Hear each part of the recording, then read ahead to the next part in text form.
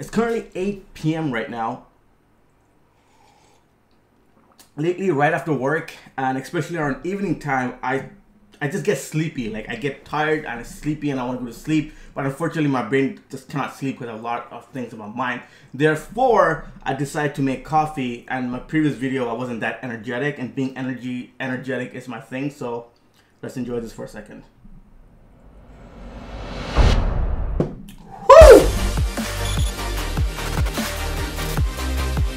Okay, so ever since I have started my YouTube channel where I talk about UX UI design, and those of you do not know, that is what I do. And those of you who are subscribed, thank you for thank you so much for subscribing. We are 4,000 subscribers and growing strong.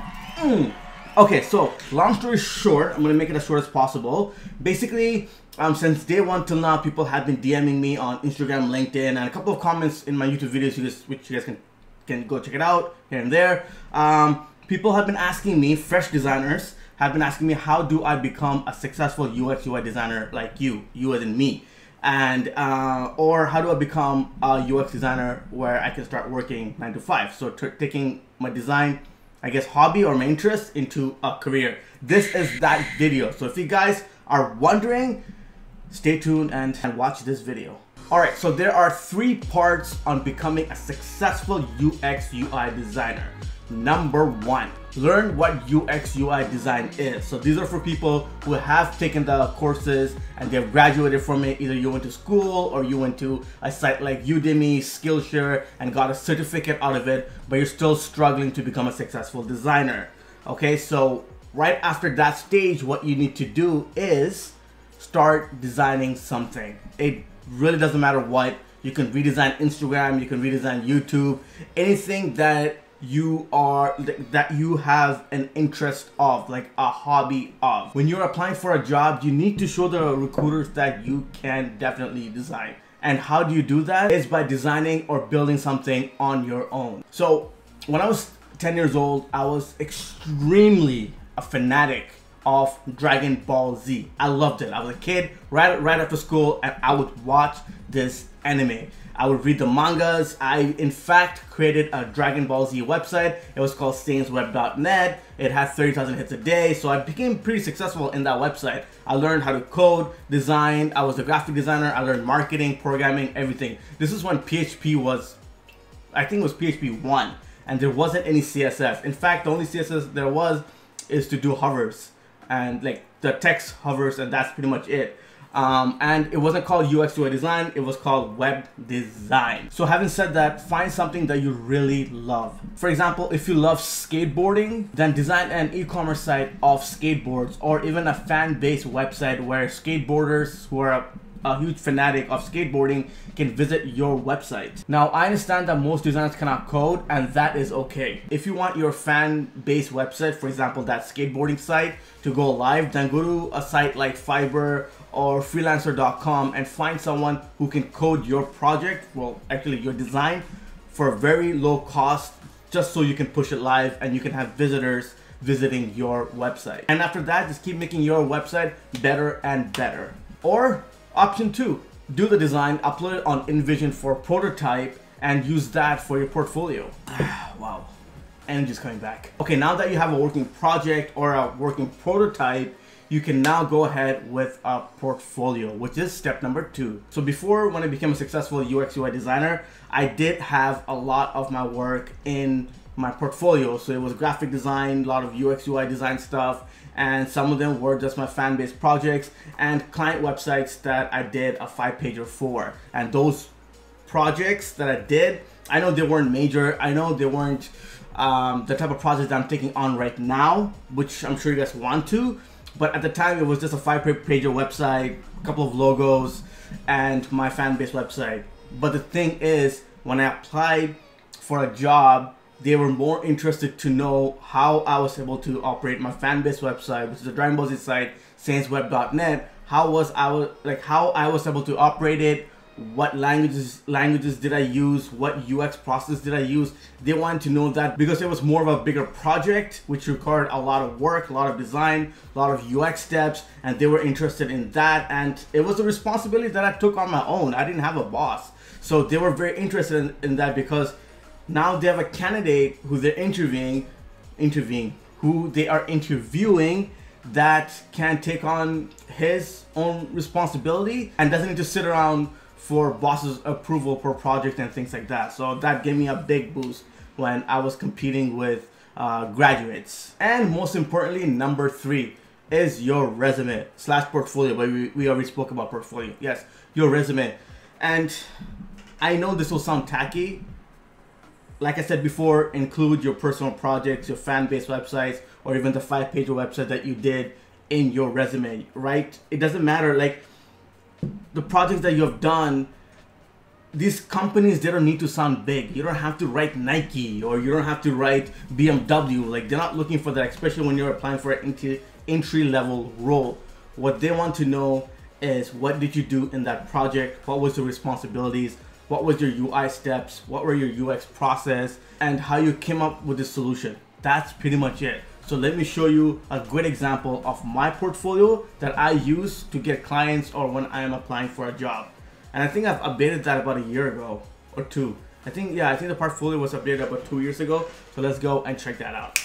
All right, so this is my portfolio website. So pretty much when you enter, and my internet has to be slow. Yeah, it kind of does that fade effect. I am not one of those designers where I'm, I'm gonna start having a bunch of big fat screenshots of templates or the design that I've done. I don't like them. I personally don't. I'm not a big fan of it. And because I have a lot to showcase, I decided to do it like this. So as you can see, and I also created this in one of my YouTube videos. I'll link it below. So you got my name and clients that I work with and ways to contact me, all that good stuff, social media, blah, blah. Um, let's start from the bottom. So this is a startup company. So when I apply for companies and they want to see my entrepreneur side of things, they can check the website out. They can also check out my YouTube video, and then I'm a Dribbble, which are like uh, recent recent shots or things like that. And then my portfolio. All of my portfolio pieces are um, uploaded in Behance because that way anyone can check it out. I get the views of it, likes, and I think this way is a lot better and also um, at the at the same time the behance community if they are designing a, a, travel site or a sign up form anything they can end up in my page and find what they're looking for it's so much better man like for example when i click here this is one of the project i can easily just upload all of my work here and i'm scoring so fast but yeah that's it people can comment on it whatever so having said that um, let's skip everything here and talk about my portfolio pieces. Obviously, I've done a lot of work throughout the years, but I've decided to keep everything now regarding UX UI. So that's the new change I've done about two years ago. And these are the three recent projects that I have done. So one is, uh, let's click here. This is a UI UX free app that I did with Adobe XD, which I'm sure most of you guys have downloaded. It's free for download, by the way. You only need Adobe XD. So that's one. Um, here are the points about the project, the challenge and solution. Um, the challenge was to gain subscriber count for my channel right here. And the solution was, is I got more than that. I got 500 plus subscribers. Even till now I get a couple because they ended up coming to that uh, that YouTube channel. Oh, no, no, that video to download this. So I do get subs for that. Um, Adobe XD was new. Well, it's I don't know. Still, I don't think it was. It was. It. Uh, I don't think if you if you will still consider Adobe XD new, but yeah, at the time it was brand new and it was trending, so I decided to do this and gain exposure. These are the design right over here. The app design. This is a message um, page. This is the main page. Yep. And then you got the stories or I don't know something like that uh, social media where I have promoted. I got a badge in UpLabs, Twitter, Dribbble. Um, this is how it looks like when you upload a story. Uh, it's kind of like a fusion of Instagram and Twitter, something like that. This is that's why I designed it. Um, this is the MS not. This is the message page, and then how it looks when you search. And uh, profile page will look like this. Comments, posts, and so on and so forth. There's, there, there are a lot of screens, so you gotta download them. Uh, what else did I do here is I included the color scheme and typography. Um, I also made my entire project look fancy. It wasn't a lot of screens. I don't understand why people up upload that because you don't really need to see a lot of screens. Th then again, that's my point of view. The important part is to describe the challenge, solution, and about the project, which is these three things. However, this project is was was just done, you know, from me. I made this up.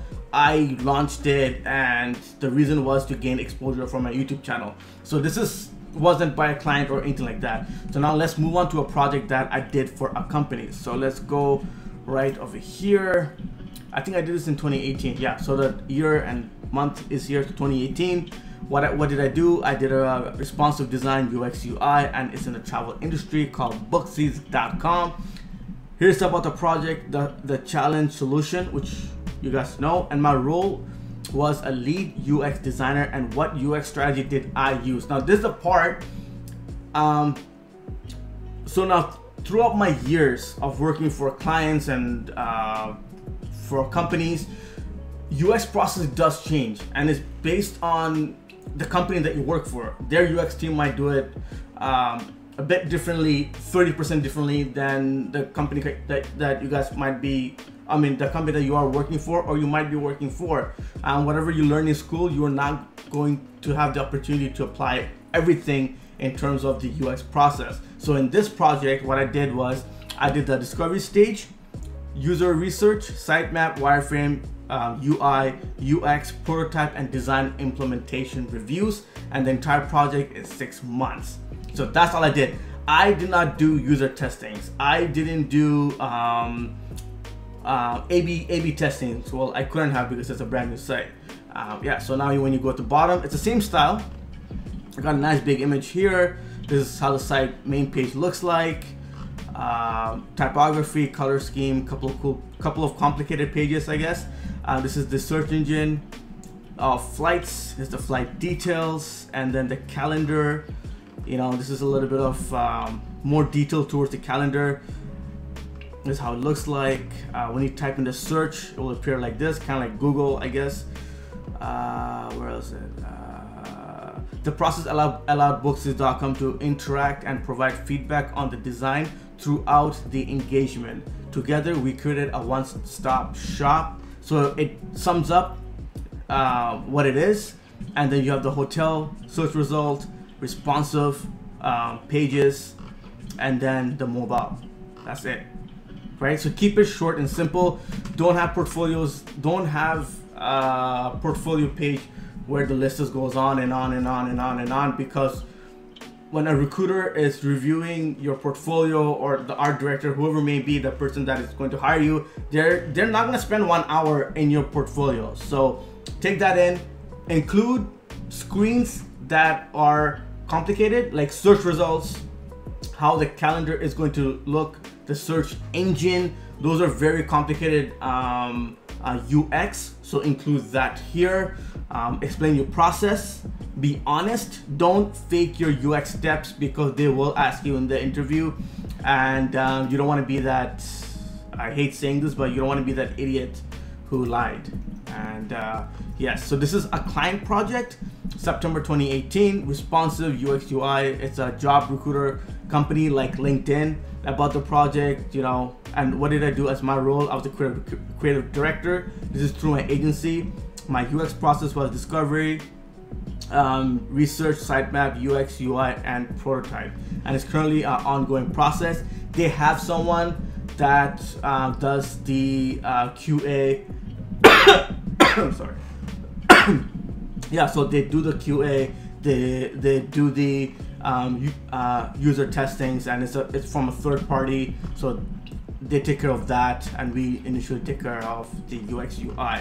And this is once again same concept, typography, color scheme, right? Again, a small blurb about the entire process, notification is how it looks like, and then you can all you guys can all check this out in my uh, portfolio website workoffahimmd.com. I'll link it below, and then yeah, that's pretty much it yeah, so that is my portfolio. If you guys like the way I have designed my portfolio and all the information, feel free to copy it and use it because at the end of the day, if you get hired, then that's going to make me happy. So no problems there.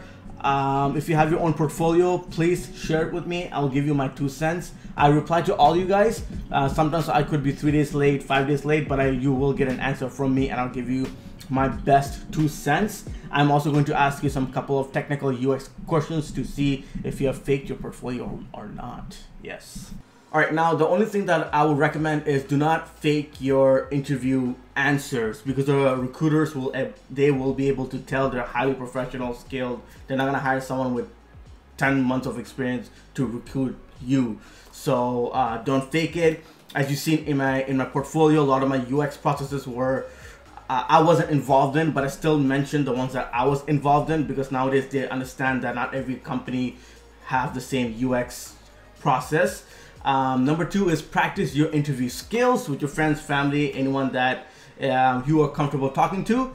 And uh, number three would be um, accept your failures. You know, whichever interview you go for the first time, you are going to get nervous. Happens to all of us, even me. So you might get the interview, or you might get a job after the third round, or fifth round, or tenth round. It's hard. It's very competitive right now. UX UI design industry is very very competitive. Apparently, everybody wants to be a, uh, a designer now because well, companies are shifting towards the World Wide Web, right? Um, I was lucky that I started when I was 10 years old, or I found interest when I was uh, 10 years old. And uh, if you liked this video, please give it a big, big, big thumbs up. Once again, if you got any questions, you wanna or you wanna have a one-on-one private, or if you have any questions privately, then just DM me on Instagram, LinkedIn, Twitter. Links of my social media channels are in description below. Thank you so much for watching. I hope everything made sense, and I'll see you guys in my next video. Why did I do this? Peace out. I think it was last week that it was Spidey's birthday. I should have made a video about it. I love Spider-Man. Spider-Man has the best merch. Yeah, I like Spider-Man. I'm a big Iron Man fan. I also like Hulk, not the muscle, but his brain is very smart. But Spidey has the best merch, and also Deadpool. Deadpool is awesome too. That's a new record. 22 minutes I finished this video.